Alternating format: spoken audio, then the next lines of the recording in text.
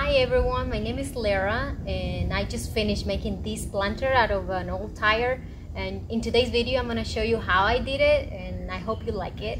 Uh, if you do, please give me a thumbs up and subscribe to my channel.